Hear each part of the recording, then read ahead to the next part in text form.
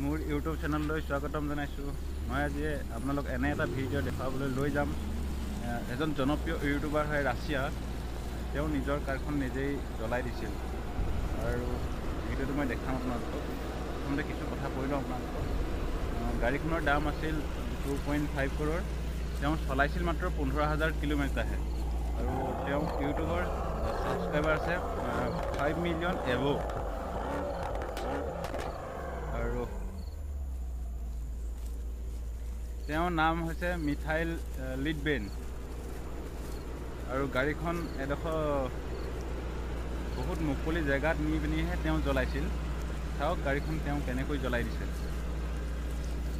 ভিডিঅ'টো দেখাইছোঁ আপোনালোকক। চাওক এবাৰ ভাল কৰি। আৰু আগতে মানুহে গাড়ী জ্বলাই দিয়াটো এটা ৰিয়েল লাইফত দেখিছিল। এইবাৰ লিড বেইনে ৰিয়েল লাইফত কৰি দেখুৱালে। এখন মাৰ্চিডিছ কাৰ